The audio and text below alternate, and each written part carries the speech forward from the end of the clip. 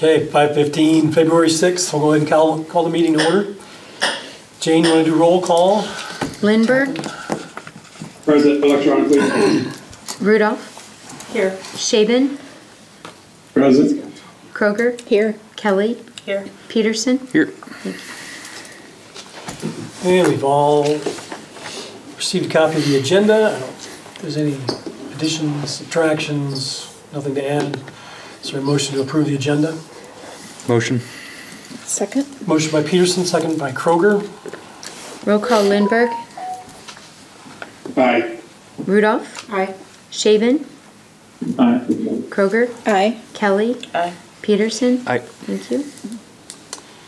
Any conflicts with anything, state them now or as they come up along the way. Under the consent agenda, these are all under one motion and one roll call.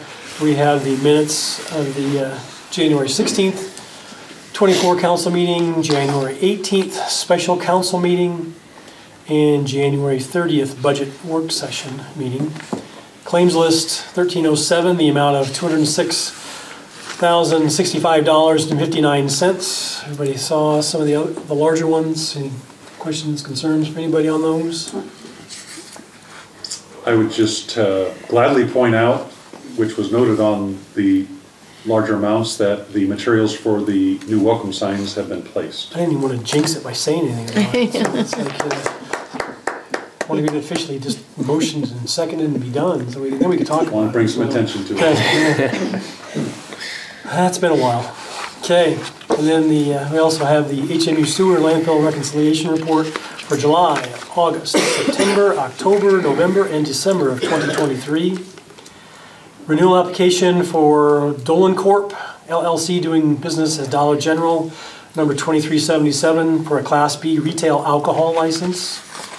And a renewal application for the Knights of Columbus in Harlan, special Class C retail alcohol license. Is there a motion and a second for that? Motion. Second? Motion by Rudolph, second by Kroger. Roll call Lindberg, Aye. Rudolph, Aye. Shaven, Aye. Kroger, Aye. Kelly, Aye. Peterson. Aye. Under other other business, review the V and K engineering agreement for in-town lift station flood mitigation update. Included a cover memo with this in your packet. Uh, We've uh, done a couple of activities over the past four or five years down around the in-town lift station. This is um, just off Utility Avenue, down again at the dog pound. It is a uh, key asset to our entire treatment system and collection system that goes out to the plant. Uh, Todd Penston, who works with our uh, wastewater and stormwater engineering firm with Veenstra and Kimm, uh, has joined us as well. Uh, Didn't know he was gonna be in person, but he was in the area, so it's great to have you here, Todd. And we feel it's important that uh, we have a post uh, with the other activities that were done down there in the last five years to get a post analysis of those improvements to further understand our uh, concern with any uh, further flood activities or and what, what it would look type, like if we put it in, or uh, mitigated it for a 500-year flood, which it's not currently. Um, There are various funding arms out there, usually through uh, the Hazard Mitigation- Group and some, uh, when other flood funds become available, that we want to be in a, a positive position to uh, apply for those uh, when those opportunities come available, and what it would take to further mitigate that area. Uh, Any comments you would share with that, Todd?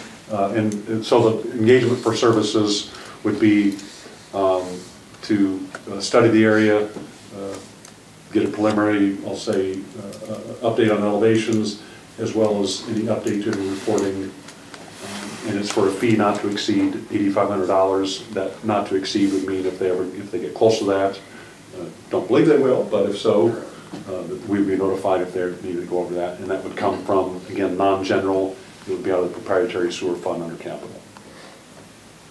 So attempting to address all your, or that's what that would look like. But Additional comments that you may add to that, Todd, or? I think you hit the the highlights there. Um, I mean, the, the main thing is that since last time we, we actually, since we originally wrote that report in 2020, that's, the dirt work has been done down there to kind of bring up some of the elevations to prevent some, some flooding, but certainly not mitigate a 500-year flood event. So we just kind of want to go back out, resurvey it and and update our cost estimates and, our- and see if there's any changes that we need to make in the original plan, um, to just make sure you're in the best possible position for applying for grant money.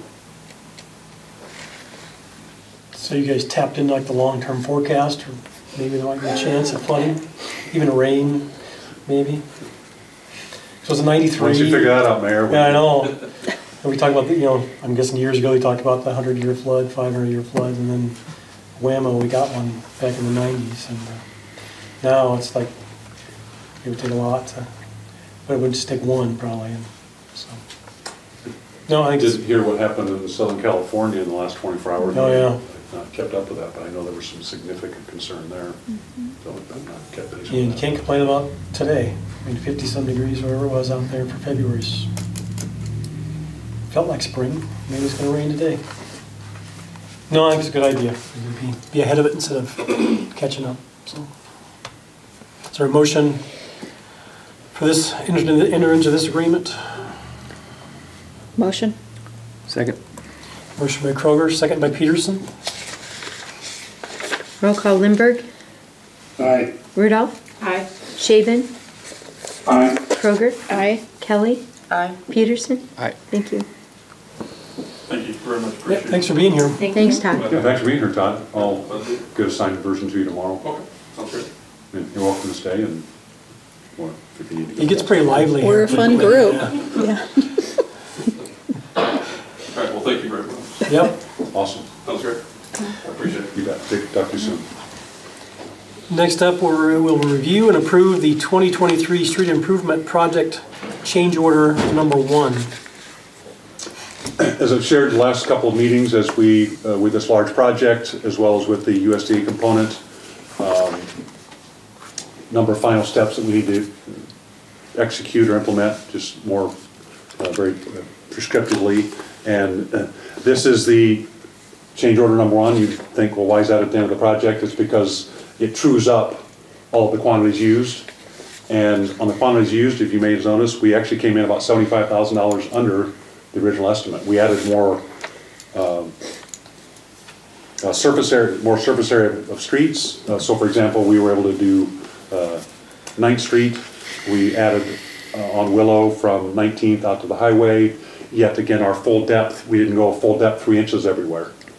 So th- th- that change order essentially uh, trues up the quantities used, and that was uh, about a seventy-five thousand dollar savings uh, on that change order. So that's a one uh, uh, item for action in front of you. So that's the first one, is the seventy-five thousand excess, whatever, and then, so I was doing some of the math, I was trying to figure that out, like seventy-five thousand, then it's like sixty-six thousand, and then a net result of nine thousand, but we're still owing, is that coming up on the next one then, is that the, the final Yeah, well, it- project pay? it'll be last- payout of retainage. Okay, So it's, um, yeah, so this was the. that's up kind on- of small too, even for a guy that works with eyeballs, that's pretty small to read. Yeah, I don't have this fully expanded there, but uh, the seventy-five thousand is right here, so that's the seventy-five thousand saving on materials. Okay, so that's what this one is then, as far as the first one? That's correct. Okay. All right, is there a motion to approve the uh, project change order number one? Motion? Second. Motion by Kroger, second by Rudolph. Roll call Lindberg, Aye. Sha, or, excuse me, Rudolph, Aye. Shaven, Aye. Kroger, Aye. Kelly, Aye. Peterson. Aye. Thank you. Then would be review and approve the 2023 street improvement project pay app number five, sub-final. And uh, this is for nine thousand twenty-five dollars. And well, that was on page thirty-seven of your packet. And so here's that nine thousand twenty-five. And the reason it's considered sub-final is because then we'll, on the meeting on the twentieth, we will do the, again, a lot of prescriptive and procedural items here. yet we need to uh, follow these, will be a- the final payout with release and retainage, which is this 66,071. So we've been, with contracts like this, which you've seen before, uh, the withholding, on- you retain 5% back. So to release that 5% retainage, issue final statement of completion from the engineer, and that starts the clock on the warranty. Uh, Would also point out that, uh, again, there's a lot of detail sheets here that, uh, is, uh, we came to resolution on um, the traffic control, which is, I can't see the exact row here, but uh, we negotiated, uh, we felt their traffic control lacked at the start of the project, and we were withholding 10,000, and we negotiated, we withheld 5,000 um, due to some extra work that our staff was doing, um, some of the lack of, again, between barricades and having some of their staff for that first uh, four or five days. And uh, so this reflects that, that 5,000 is being withheld uh, towards that final amount. So Hopefully that addresses all the questions, then we'll have the uh, final pay app release, release retainage and uh, the engineer's statement on the 20th. Is there a motion to approve project pay app number five, sub-final? Motion. Second? Motion by Peterson, second by Rudolph, by a whisper. Roll call Lindberg, Aye. Rudolph, Aye. Shaven, Aye. Kroger, Aye. Kelly, Aye. Peterson. Aye. Thank you. Review the street closing permits for Roar into Harlan events, May through September of 2024. Spring's coming. Spring's coming. coming. Uh, The county board of supervisors acted on this uh, same permit request for their use of their grounds uh, this morning's meeting, and uh, continues to be a wonderful event. Uh, Chamber, uh, Todd's office continues to be very supportive, helps with promotion, also manages their account, and uh, been a great partner. Again, from a city perspective, we uh, do uh, supply barricades, um, had uh, no, no issues in the past. Seth's their, um, Seth Johansson is uh, their manager, leader, and uh, the permits reflected um, using the west and north side and the east and north side based upon which Thursday, or which month. Um, They do a lot of promotion with that and uh, partner with some downtown businesses, so these are their annual permits and don't have any concern from this uh, city side. Yeah, It seems to be very very well attended. My- Being in my front yard, it's lots of people out there. And they've got bands, I don't know what they have lined up this year, They're because gonna last year they had have bands bands. this year, and Yep. have some, some food, Yep. and just, you know, just continue to expand on it. Lots of cars and trucks. year, and- so, Yeah, they've done a really nice job. Um, And this seems to be well organized, you know, nothing really seems to be, nobody's, you know, who lives there, works there, they're not an inconvenience for any of us down there. They- They they work very well with the people around them, so. Okay, I'd look for a motion to approve the Roar into Harlan permits. Motion? Second. You guys are dominating tonight, and it's like, I'm just too slow here. okay, just, just say motion, Lindberg, will you? Yeah. I'll give it to you. Kyle can have it. Yeah, but prove that you're even around. Okay, motion by Lindberg, I'll give the second to Kroger this time, so. Okay, let me change my notes. Okay.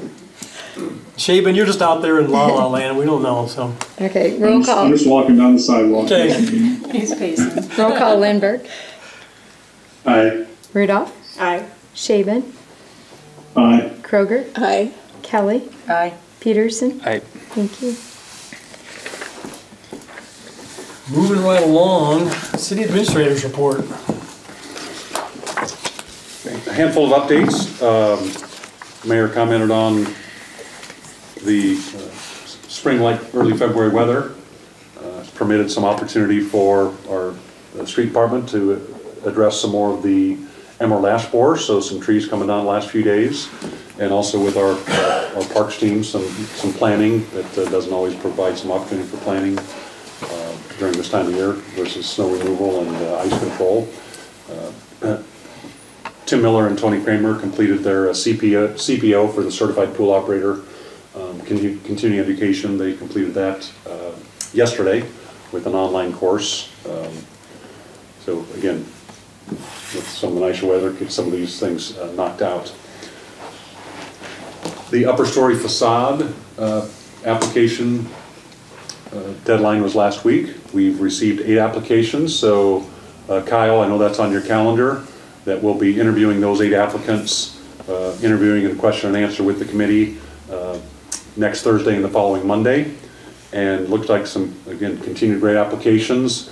Jen Malone uh, the- our office this year has done some preliminary review of, you know, uh, based upon the total ask and if we need to do one or two adjustments to be able to maximize funding. So she and I were just reviewing that earlier today, that uh, I think will pro- provide for uh, some good review as well as planning for uh, those applications on the 15th and 19th. The, some businesses, uh, I've spoken to one or actually two now, and maybe Todd's office has spoken to some, with the updated uh, community videos on our website, that uh, you may be hearing from CGI uh, Communications, which out of the East Coast. And that's simply an opportunity, it's voluntary, if your business or nonprofit wants to uh, sponsor and advertise on our updated city walk, city videos, that you'll be hearing from, uh, you may be hearing from them, and again, that is legit. And uh, just last week, uh, the mayor did a updated recording uh, promoting the new sponsorship opportunity. There was a line of people outside in front of City Hall wanted his, his, uh, his signature. And wanted his- three pens I went through uh, signing He's becoming quite a a video star here, so uh, that new uh, welcome release will be uh, released here, I think, this week. Uh, But if you're hearing, you're getting contacted by CGI Communications, that, uh, again, that is legit and provides some marketing advertising opportunity for you uh, as a business. A Couple things with the airports. The, uh, just a reminder, the hangar number six uh, for the additional power doors, uh, that bid deadline is the 16th of February. Um, Between our engineer and locally here, we've uh, had interest from uh, at least two companies so far. Doesn't mean they're going to bid per se, but there is interest in the project. And then uh, Scott Pigsley at the airport was contacted by uh, Spencer, didn't catch his last name from the DOT, uh, that wanted to come out and look at our past due, or excuse me, our past two uh, hangar door projects on hangar three. Um, So we met with him and one of the commission members out there this Monday, just yesterday, I guess, and spent a few hours uh, reviewing the previous door project. um, Open and close the doors for him, just to show how those power doors work. They were quite impressed. Uh, But also provide a great opportunity to engage and provide feedback on how their grant program's working, from a timing, um, some suggestions that, uh, I know Rick Bilser from the commission and Scott as our manager, that, you know, it would be nice if we could actually um, bank some funding. So some of our GAVI, which is called Vertical Infrastructure Projects, for example, on hangar three, that needed to be broken into co- two components, because to do all the doors at once, if that was a vertical infrastructure project that would be funded, it'd be nice if we could bank, like, like we can do with our uh, entitlement funds when, from the FAA, we can bank those for four years. So it would save in terms of some engineering costs, bidding and letting costs, so some feedback to be more efficient. And they were very welcoming of that, we'll take some feedback back to, to their group. So, uh, activities at the airport. Um, With the park board meeting next week, uh, this may be something that's in front of you as a governing body in two weeks.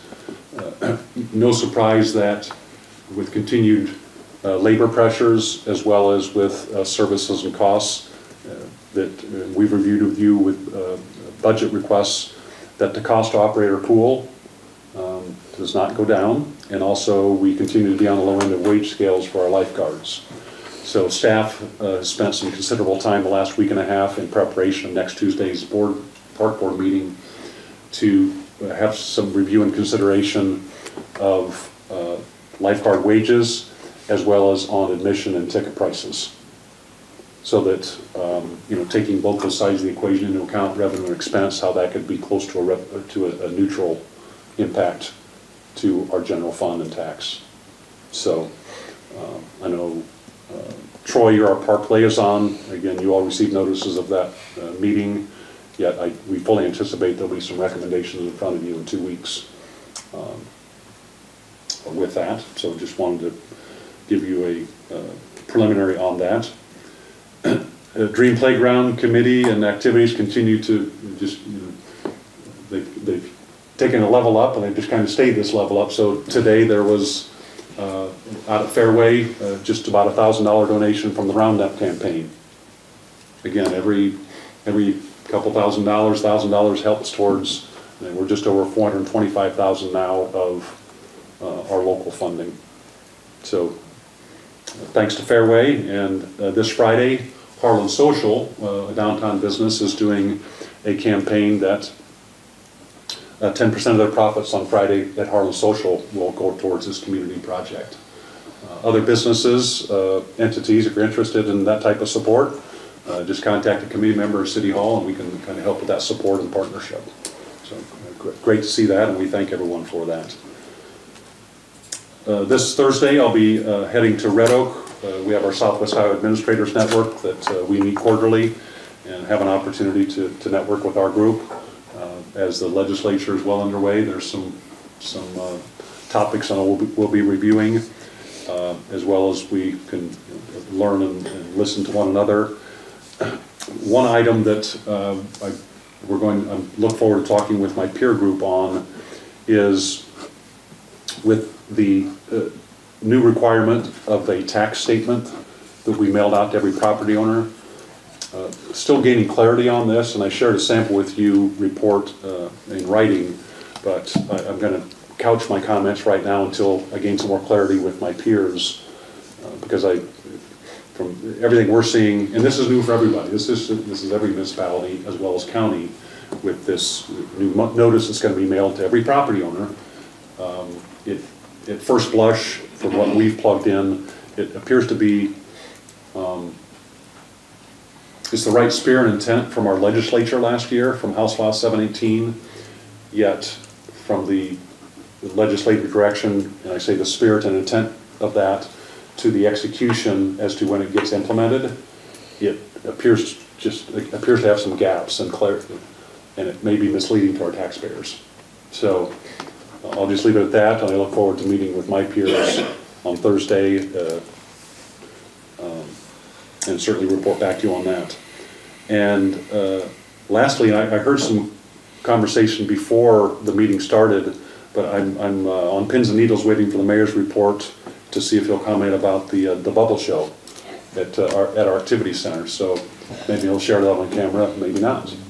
And that's all I have for uh, my update and comments. Um, uh, We had a nice employee appreciation, thanks for those of you in the governing body who could be there. And uh, had a good share of our employees there, and uh, it was an enjoyable evening, so. And that was last Friday at the country club, and it was a nice meal, and I appreciate that. And our, our team appreciates that as well. Uh, That's all I have. Thanks, Gene. Questions or comments for Gene? Guys out there in Cyberland, got anything for Gene? Nope. Troy's still walking around on the sidewalk. No, sir, and it's getting colder, it's not fifty-some degrees no more. Put a coat on.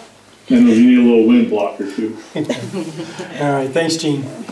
Um, yeah, under my report, uh, I did attend with, uh, five of my grandsons, and, uh, it was like, the first one was sold out. We couldn't even go at three o'clock for the bubble gathering at the Turkleson Center. The second one seemed to be sold out because there were a lot of little people and a lot of old people like me there with their little people, and, uh, a good hour of entertainment for uh, the people of Harlan, and the young gentleman did a nice job. He was uh, very entertaining for the age group I had, and, and even for me, I, I enjoyed it. And it's nice. That, I don't know, Todd, did he come through you guys, or I don't know, how did he get lined up? No, he didn't come through us. Really? so, Yeah, no. A lot of Yeah. individual marketing, promotion, and. And he, sold they out. donate. You know, that's one thing I was trying to think about that. They donate back. I think they're. He only makes money on the concessions what he sells, as far as the lighting things that they sell and the popcorn where else was, and all the other stuff went back to a, a local fund. Something I should find out from Kelly, I guess, where that was going. But he mentioned that during the program that the money that they take in for tickets and stuff, he doesn't keep that. He donates that back to I think a local group. So I'm not sure where that went, but. So yeah, he did a nice job.